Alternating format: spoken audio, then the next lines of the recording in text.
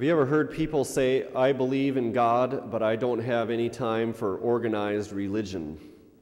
Or, I believe in Jesus, but I don't want to be part of the church.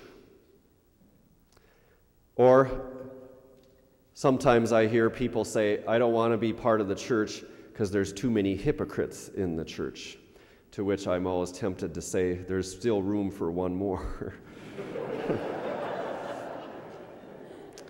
This, this evening in the Gospel and in all the readings, we hear about the Holy Trinity.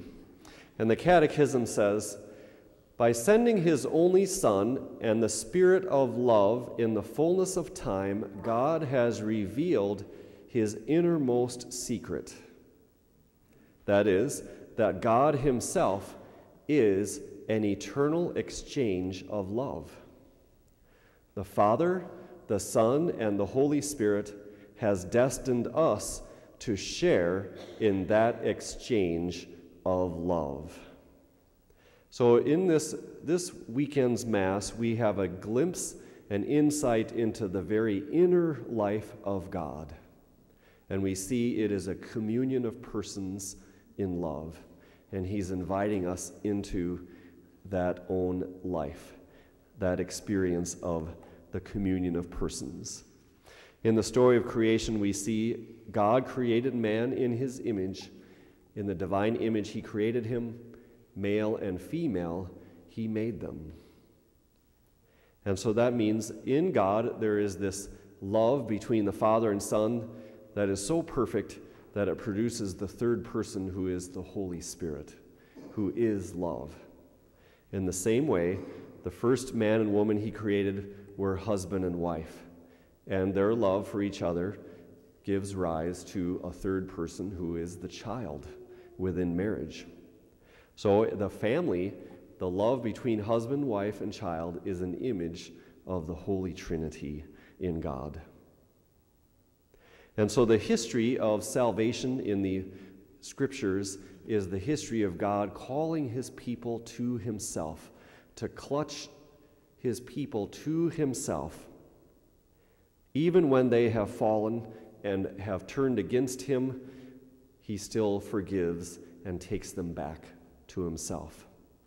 Our first reading comes from the story of Exodus, where Moses just brought down the Ten Commandments and he finds the people have already fallen into idolatry. They're worshiping some other God rather than the Lord. They're giving their love to something else rather than to God, the Lord who set them free from Egypt. But rather than destroying the people, as he is tempted to do, Moses says, Do not allow these people to be destroyed. They have sinned grievously, but spare them. And the Lord reveals his real name to Moses as he passes by. This isn't some uh, scriptural author's reflection of who God is. It's God Himself telling us who He is. The Lord, the Lord, a merciful and gracious God, slow to anger, rich in kindness and fidelity, continuing His kindness for a thousand generations, and forgiving wickedness and crime and sin. Yet not declaring the guilty guiltless. He still acknowledges there is sin, but he forgives. So, that throughout the history, then, the Lord is calling his people to himself. He says, As a bridegroom marries his bride, so will I marry my people.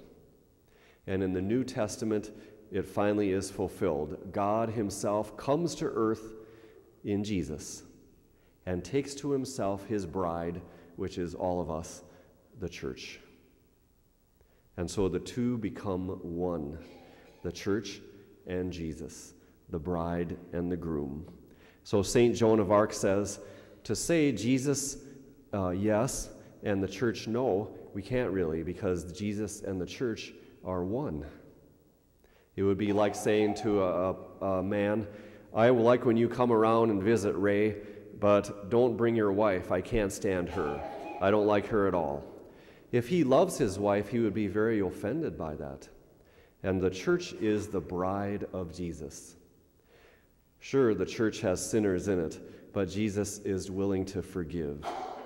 The Lord clutches his bride to himself to give his life for the bride, so who is sinful and marred, but beautiful in his eyes. When he looks upon his church, when he looks upon each of us, he sees his beautiful bride that he has given his life for, and he looks upon us with great love and mercy and forgiveness.